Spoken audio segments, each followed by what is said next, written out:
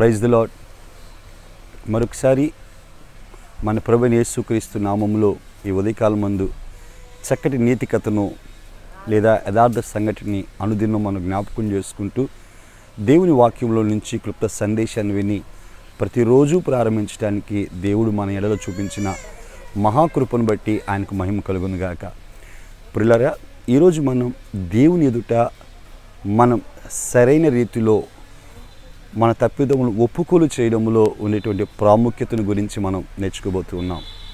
ఒకసారి ఒక వ్యక్తి ఓ దైవజనుడి దగ్గరికి వచ్చారు. తను అంటున్నాడు నా జీవితంలో నెమ్మది లేదు.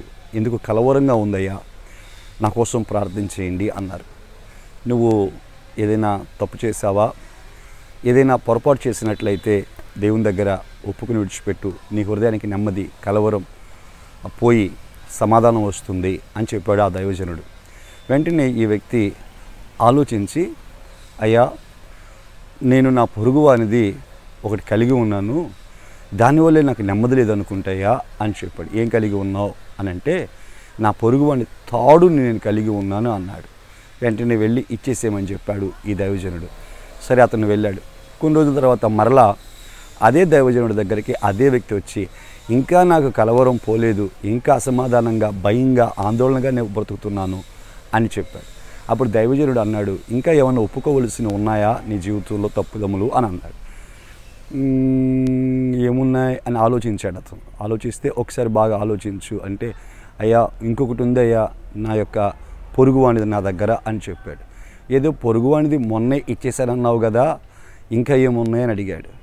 మొన్న ఇచ్చింది తాడయ్యా తాడు ఇచ్చేసాను అని చెప్పాడు. మరి ఇప్పుడేముందంటే ఆ తాడుకు కట్టినటువంటి ఆవు నా దగ్గరే ఉందయ్యా నేను ఆవుని తాడు పట్టుకుని లాక్కొచ్చాను. తాడు నీదే అని ఇచ్చేసాను కానీ ఆవుని ఇవ్వలేదయ్యా అని చెప్పాను అంటే ఇతను తాడు ఇచ్చాడు తాడు తప్పిదాన్ని ఒప్పుకున్నాడు. దేవుని దగ్గర తిరిగి అతనికి తాడు ఇచ్చేసాడు కానీ పొరుగువానికి ఆవు విషయంలో ఒప్పుకోలేదట. ఆవుని మాత్రం తిరిగి ఇవ్వలేదట. అప్పుడు దైవజనుడు అన్నాడు తాడును తాడుతో పాటు వచ్చిన ఆవును కూడా అతనికి ఇచ్చేసి ఆ తప్పిద విషయంలో ప్రభు దగ్గర ఒప్పుకోలు చేయి అన్నాడట.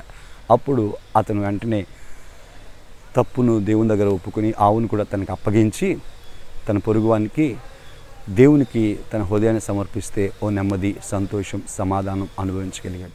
కాబట్టి దేవుని ఎదుట మనం ఒప్పుకోలు చేయవలసినటువంటి విషయాలను మనం ఎలా ఒప్పుకోలు చేసాం కొంతమంది ఒప్పుకోలు చేయరు కొంతమంది తమకు నచ్చినవి ఒప్పుకోలు చేస్తారు మరికొంతమంది కొన్ని విషయాలనే ఒప్పుకోలు చేస్తారు. కానీ దేవుని ఎదుట మన తప్పిదమ్ములు ఒప్పుకుని ఎడల ఆయన నమ్మదగిన వాడు నీతిమంతుడు మనల్ని ప్రతి పాపము నుంచి పవిత్రులుగా చేస్తాడట. మనం పరిశుద్ధులుగా తీర్చిదిద్దబడినప్పుడు ఓ సంతోషాన్ని నెమ్మదిని మనం అనుభవించగలుగుతాం.